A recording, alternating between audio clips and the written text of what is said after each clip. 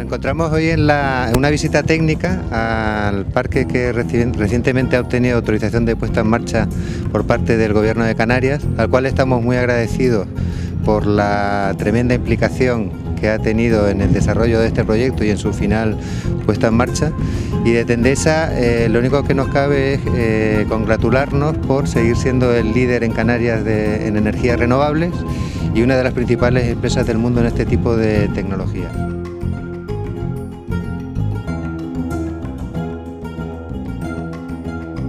Este parque eh, es el primero que se instala en las islas,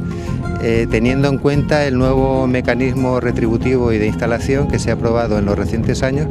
por lo cual para nosotros pues, es un, un éxito que mm, pretendemos seguir manteniendo en el futuro con el, por supuesto, la colaboración que debo repetir tremenda del Gobierno de Canarias y con nuestro magnífico socio, que es el Ayuntamiento de Agaete, que está representado hoy aquí por, su alcalde y al que le agradecemos también el profundo y permanente apoyo a nuestra actividad. Gracias.